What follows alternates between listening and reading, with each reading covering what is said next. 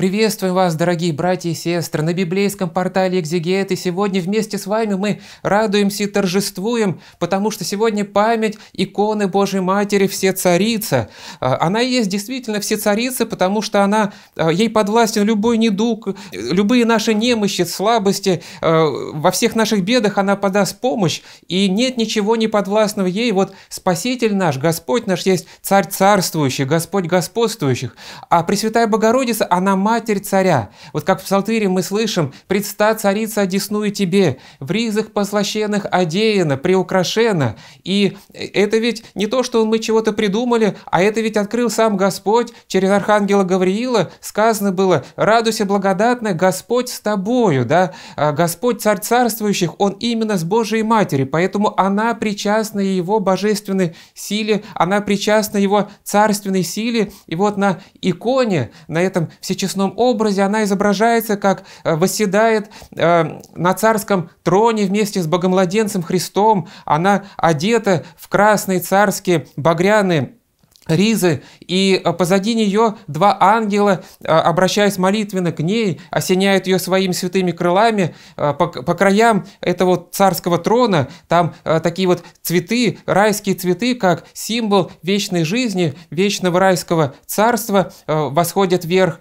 И образ Пресвятой Богородицы как все царицы, указывают, что у нас есть та, пред которой мы можем и к которой мы можем обратиться о любой нашей немощи, о любой нашей болезни. Сама она указывает правой рукой на Богомладенца Христа, показывая истинный путь к спасению, наше спасение во Христе. Но, конечно, ее царство, оно вовсе не в земном величии, а это царство смирения, царство любви, царство божественной славы и божественной силы. И поэтому мы знаем, что от иконы все царицы источаются людям просто удивительные чудеса, исцеляются раковые заболевания. Люди, которые страдали там от какой-то ну, оккультной зловредной силы, тоже получают благодатную помощь. А, также вот молятся родители тех непутевых чад, которые увлеклись наркотиками или алкоголизмом, и тоже они получают благодатную помощь. А э, когда же сама появилась икона? Конечно, мы своим мысленным взором переносимся на Святую Гору Афон. Это райский сад Божией Матери, это удел Пресвятой Богородицы. Как говорил преподобный Паисий Святогорец, вот Божья Матерь, она каждый день обходят э, монастыри и даже вот все кельи э, монахов афонских. И это действительно так, это был вот непосредственный опыт преподобного Паисия Святогорца. И вот, конечно, икона Всецарицы, она пребывает э, в монастыре Ватопед, Ватопедский монастырь, да, там, где пояс Пресвятой Богородицы пребывает, там, где есть еще другие чудные иконы, и вообще Афон, он усеян чудотворными иконами Божьей Матери, но вот мало кто знает, что на самом деле икона Всецарицы – это благословение старца Иосифа Исихаста, известного подвижника святого XX века, который пребывал в разных местах, вот пребывал в молении. Почему он назван Исихастом? Потому что он любил очень умную молитву в таком уединении, обращаясь к Господу, к Божьей Матери, и потом он в конце концов действительно стяжал вот такое внутреннее безмолвие, тишину, исихию по-гречески, поэтому он Иосиф Исихаст. Но вот был у него такой период в жизни, когда он э, очень сильно страдал от э, ну, всевозможных страстей, вот, прилогов этих страстей, и в частности от блудной брани, причем он сам был совершенный такой девственник, никогда не вступал ни в какие телесные отношения, но при этом вот без блуда искушал его, и 8 лет он пребывал в таком э, тяжком борении, он вообще не ложился спать, э, спал стоя или опираясь там на э, спинку стула какого-то там, или э, ну, на какие-то, как стасидии, вот эти вот э, перила стасидии, да, а при этом мало ел, там, мало пил, и вот он однажды взмолился, вот, Господи, я вот столько тружусь, почему же идут мне такие напасти? И после этого вдруг Господь его на какое-то мгновение восхитил в небесное царство, и там он именно созерцал Божию Матерь с богомладенцем на руках и исполнился такой вот благодатной э, силы, да, вот такое его посетило утешение благодатное, что когда когда он вернулся, то он говорил так, что э, когда э, рядом с человеком Божья благодать, то она дает ему необыкновенную, божественную гармонию, и все страсти сразу умолкают. А если ты лишен Божьей благодати, то ты можешь впасть в любую ересь, ты можешь впасть в любую греховную страсть, и никакими человеческими силами себя не убережешь, поэтому вот и нужно обращаться к Господу, чтобы Он укреплял тебя своей божественной благодатью. Вот именно Иосиф Исихас, ну не только он, и разные другие святые отцы, он тоже созерцал на небесах Божию Матерь как царицу, как все царицу. И именно он вот этой иконой благословил своих учеников, и э, его ученик Иосиф э, Ватопецкий или Иосиф Спелиот, потому что э, Спелион – это пещера, он тоже в пещере в уединенном подвиге пребывал, вот он именно принес эту икону в Ватопецкий монастырь, а сам святой старец Иосиф Исихаст, он как раз рассказал вот про первые те предания, которые а, сохранились в отношении этого образа. Ведь икона Всецарицы, она с 17 века. Кто ее написал, уже неизвестно. Мы не можем этого разыскать. Но что нам сохранилось, что донесено? Что вот она пребывала в храме, и э, однажды в обитель в эту пришел какой-то вот э, ну, юноша, который тоже, как и другие, хотел э, подойти к этой иконе, и вот что-то он про себя бормотал, и как это вот э, вел себя странно, и вот как только он подходит, вдруг э, невидимая сила отбрасывает его от честного образа Божьей Матери, это увидели некоторые монахи, и вот юноша с покаянием пошел к одному из старцев и рассказал Оказывается, он увлекался колдовством, то есть он был оккультистом, думал больше о какой-то магической силе, о таком личном саморазвитии и превозносился над э, церковными святынями. И вот когда он, ну, не знаю по какой причине, он посетил Афон, может быть, из любопытства, может быть, там еще чего, и вот он говорит, что хотел подойдя к иконе, испытать свою магическую силу. Может быть, он хотел посмотреть, что его вот эта оккультная сила, она призойдет силу чудотворной иконы, и Божья Матерь его сразу же посрамила. А, он был отброшен от э, иконы и пребывал в таком смятении и понял, что вся оккультная сила – это ничто перед благодатью Духа Святого. Это все ничто перед благодатной силой Божьей Матери.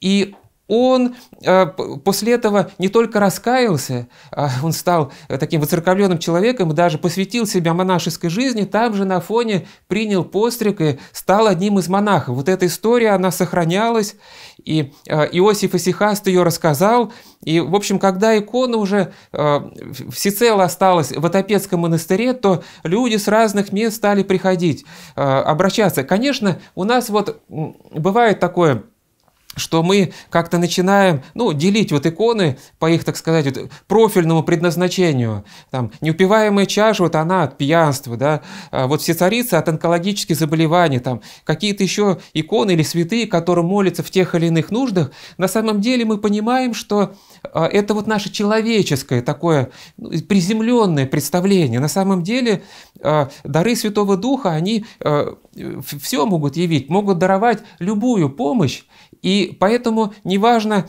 э, вот чем ты там, какой э, болезнью страдаешь, какие беды к тебе подступили, ты можешь обращаться к любому святому. И ты вообще можешь обращаться к Пресвятой Богородице, неважно перед какой ее иконой. Но иногда вот, э, понимаете, мы очень немощные такие вот расслабленные, и иногда нам нужны какие-то подсказки, чтобы что-то нас вдохновило, даже что-то такое видимое, вещественное, или выступало символом ну, какой-то одной из вот милостей Божьей Матери, какой-то вот помощи Пресвятой Богородицы.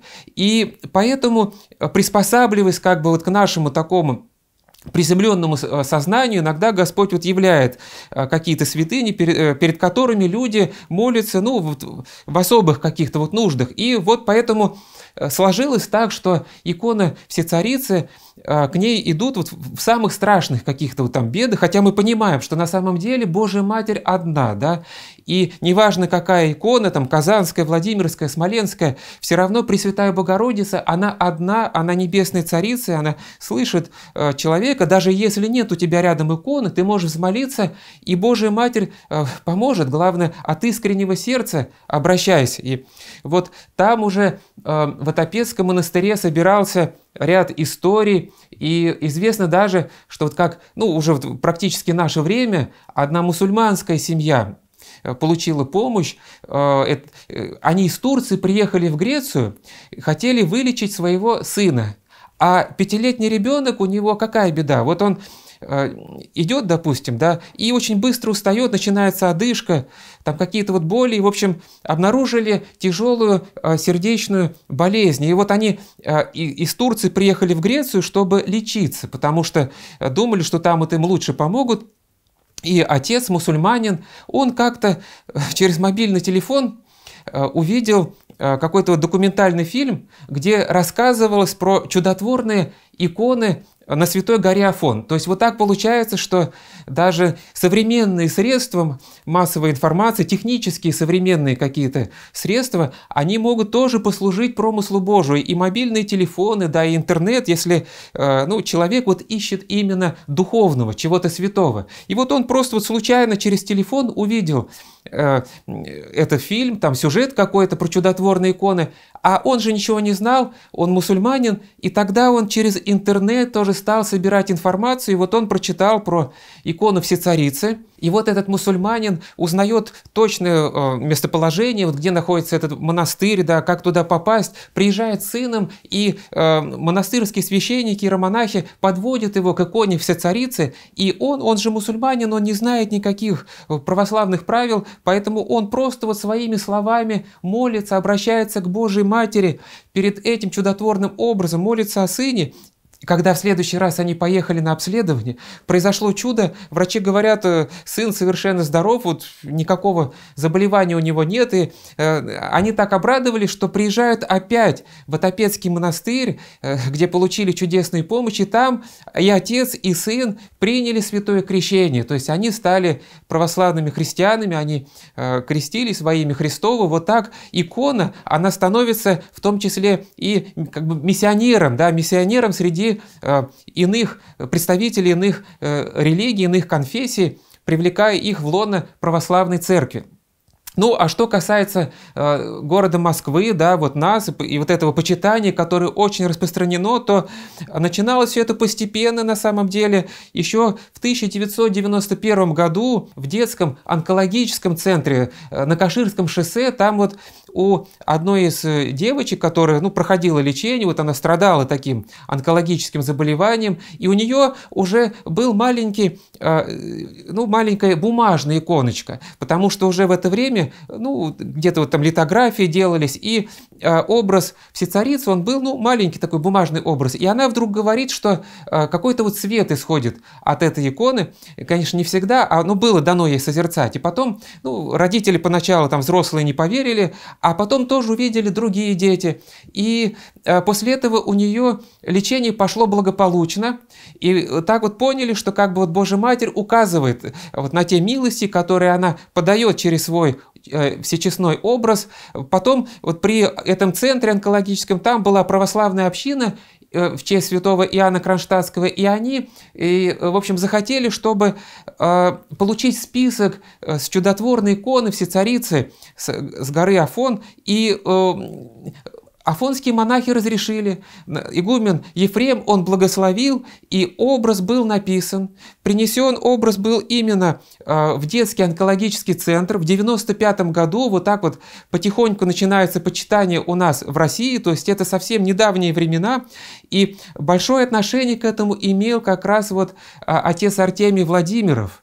И именно отец Артемий Владимиров написал Акафист, пред иконой Божьей Матери все царицы, вот посвященной ее иконе, он опирался на греческие тексты, молитвословия, и вот на церковно-славянском языке написал Акафист, который все мы читаем или вот поем в храмах в честь все царицы. И он как раз свидетельствовал о многих чудесах. Вот поначалу как раз икона, она была там, в онкологическом центре, а потом она как раз вот а, была перенесена в храм всех святых в Красном селе, где как раз и проходило служение отец Артемий Владимиров. А в онкологический центр туда была написана новая икона. И вот так вот потихоньку распространяется вот это вот э, почитание известно, что вот этот храм э, при больнице, да, вот онкологической, его окормляют клирики э, храма в честь Казанской иконы Божьей Матери. Это храм в Коломенском, и там один из священников, отец Федор Романенко, он как раз вот проникся таким желанием Сафона принести список иконы Всецарицы, и это удалось сделать, вот как раз разрешение, он, икона была написана, и он эту икону носил на себе она весила 35 килограмм, он прошел по всем храмам э, и монастырям горы Афон, подходил ко всем святыням, и вот с этой как раз иконой он вернулся, она отнесена была в онкологический центр, и перед нею как раз вот молились тоже люди, приобщаясь благодати святынь горы Афон. А отец Артемий Владимиров, он как раз собирал уже вот много таких свидетельств чудесной помощи. Вот он, например, рассказывает, как одна из э, э страдавших онкозаболеваний, заболеваниями, ее Мария звали, у нее и дочь, вот, и она э, уже проходила лечение, но заболевание было такое достаточно тяжелое, неизлечимое, и вот она что, она не просто ежедневно стала читать акафисты, э, пред иконой все царицы, э, Божьей Матери молилась ежедневно, но она решила поменять свою жизнь, она рассталась с курением, она стала регулярно исповедоваться, причащаться святых христовых тайн. На самом деле это имеет Э, ключевое значение, что ты не просто вот вспомнил про Бога, ты не просто стал молиться, но ты стал что-то вот решительно менять в своей жизни. И такая молитва оказывается наиболее сильной, то есть она подкреплена реальными какими-то твоими делами. И э, вот во время одного обследования, причем обследование проводилось под общим наркозом, э, Мария вдруг видит, увидела ангелов и спрашивает, что со мной? А те ей отвечают, все, больше ничего нет, ты здорова, то есть у тебя все прошло. Потом она, значит, приходит в себя, вот две недели напряженно ожидает результатов, этого обследования. И э, вдруг ей врач говорит, что вы знаете, у вас уже э, ничего нет, действительно, болезнь прошла, причем для этого диагноза это очень необычно, почему прошло такое заболевание. То есть это было э, явное чудо. И, конечно, мы знаем, что Особенно вот э, прославлен Новоспасский монастырь э, тоже особым образом, особой иконы, списком с э, чудотворной Афонской иконы Всецарицы. И туда вот в 1997 году образ этот был доставлен. А почему так? Потому что тоже вот, когда возрождалась Новоспасский обитель, монастырь возрождался, то иноки, монахи, они окормляли онкологический институт имени Герцена, то есть вот тоже как-то они были взаимосвязаны с этой сферой, они молились вот и знали, что эм, всецарица икона, ну как бы вот символ помощи Божьей Матери онкобольным. И они очень просили э, игумена монастыря, вот э, отца Ефрема на фоне, но не знали, э, согласится он или нет, и неожиданно он согласился, и список был написан, и, значит, в 97 году э, поместили в Новоспасском монастыре, а в 2000 году иконы стала мироточить. Это было тоже засвидетельствовано, то есть некая вот милость Божьей Матери как наглядно так вот проявилась, что Божья Матерь, она слышит молитвы приходящих и помогает, откликается на их молитвенные просьбы. И в Новоспасском монастыре, как вы наверняка знаете, ежедневно служатся молебны, там вот и акафисты читаются, и люди идут со всех сторон, вот одна прихожанка Анна, она рассказывает э, про э, знакомую семью, ну, близкие, друзья ей. И вот там вот муж в этой семье, он, э, у него инфаркт и там еще что-то вот, э, воспаление легких, да. И привезли его в больницу, там еще нашли ряд заболеваний, там что-то с предстательной железой, предраковое состояние, там еще чего-то. И он лежит, он не может сам э, подняться и э, ожидает родные его смерти, а Анна, она стала на молебнах все царицы упоминать в том числе и Его имя. И вот, э, когда пошла молитва Божьей Матери, то он, как ни в чем не бывало, поднимается и вот сам возвращается домой. То есть вот, э, вот какая милость, вот какая помощь, чудная помощь от Божьей Матери, потому что она действительно все царица. И любой недуг ей подвластен, любые наши немощи, страдания. Но единственное, что скажу, то, что э, каждому дается что-то свое. А вот понимаете, если человеку полезно, чтобы он э, вот исцелился, да, и дальше приносил плоды добрых дел, потому что он будет исправляться, будет что-то созидать, то Господь дает ему исцеление. Кому-то вот кто-то молится, ну, Господь помогает ему через лечение, да, и его лечение тоже идет благополучно, он выздоравливает и продолжает трудиться. А кому-то, для кого-то сама болезнь становится исцелением. Исцелением от его грехов, исцелением от его каких-то страстных привязанностей. И болезнь, она становится как бы таким вот тоже промыслительным по Божию действию, вот вмешательством в его судьбу. А, так что такой человек исцеляется, но исцеляется от каких-то греховных язв.